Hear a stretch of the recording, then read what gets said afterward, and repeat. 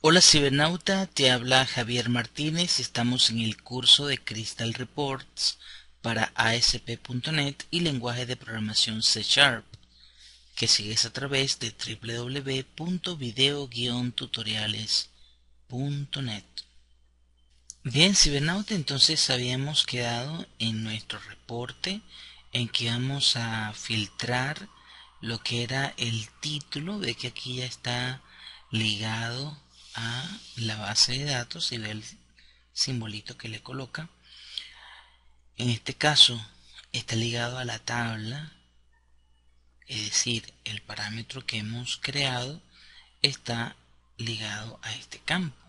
Entonces vamos a codificar acá porque no es visualmente que se solventa esto, sino también por medio de código. Y un código lo suficientemente extenso para que pueda ejecutarse. Bien, entonces vamos a comenzar con la siguiente instrucción, parameters, parameters, field, parameter field,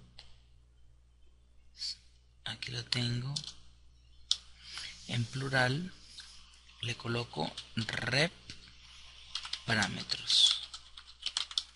Igual a new parameter fields. Aquí lo tengo. Luego me voy a crear el parámetro como tal con el parameter field pero en singular. Aquí había dicho que era título no ok entonces título param igual a new parameter field. Muy bien. Ahora voy a agarrar este título param título param punto name y le voy a asignar el nombre que él tiene acá que sería título título.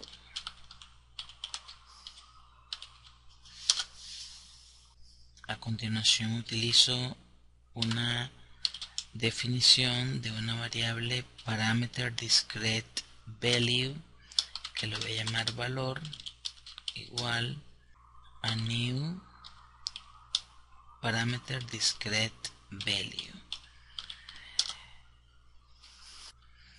ahora aquí se viene el valor como tal. Valor punto value igual. Lo meto dentro de dos comillas dobles. Me voy a la base de datos y hemos quedado en que vamos a filtrar los ms con un puntico misses que serían 1 2 3 y 4 Laura Annie, Janet y Nancy. Entonces, aquí sería ms puntico. A continuación utilizo a título param.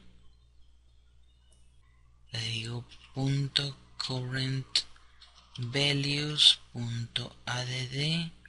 y le paso a valor.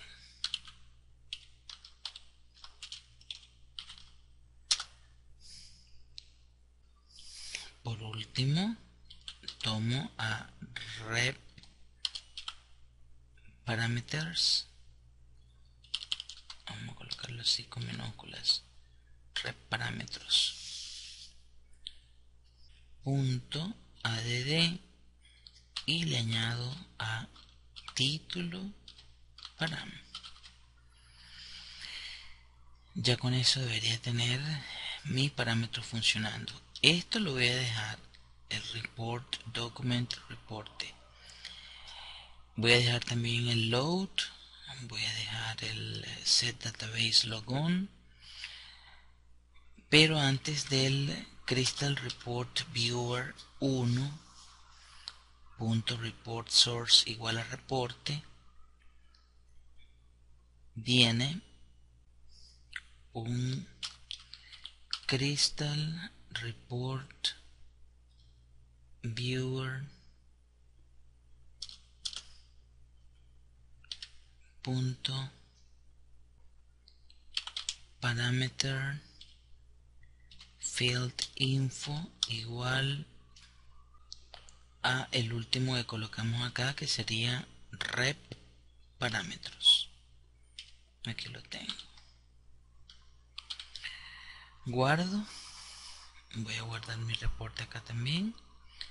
Recuérdate que aquí ya esto lo vimos en el video pasado en el video 4 cuando enlazamos el campo con el parámetro y pasamos a ejecutar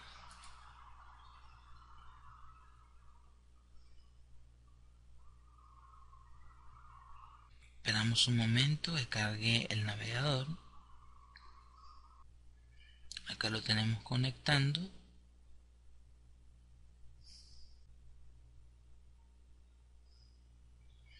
Y aquí lo tiene cibernauta. Aquí tiene exactamente lo que habíamos pedido que era todos los que comenzaran por ms ¿sí? Todos los que comenzaran por ms teníamos a Nancy, a Janet, a Laura y Annie. Nancy, Janet, Laura, Annie. Aquí lo tenemos. Entonces de esta manera es que puedes utilizar un reporte parametrizado sencillo. En este caso lo hemos hecho por el eh, título de cortesía que aquí se lo dejamos con el mismo nombre que él tenía title of courtesy ok pero ya ves cómo se genera un reporte utilizando parámetros pasamos entonces desde un reporte sencillo a un reporte que ya está filtrado por parámetros recuérdate que aquí puedes exportar a cualquiera de estas opciones que tienes disponibles sobre todo a PDF que es una de las más utilizadas ¿sí?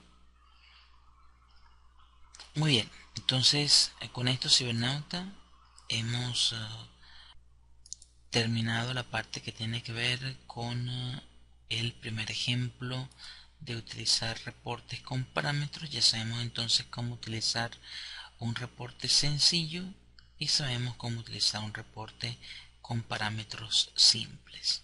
Seguiremos profundizando porque ahora es que nos falta más material sobre las fórmulas sobre los uh, reportes agrupados sobre las expresiones SQL y Continuaremos entonces con nuestro curso a partir del video número 6 de esta serie.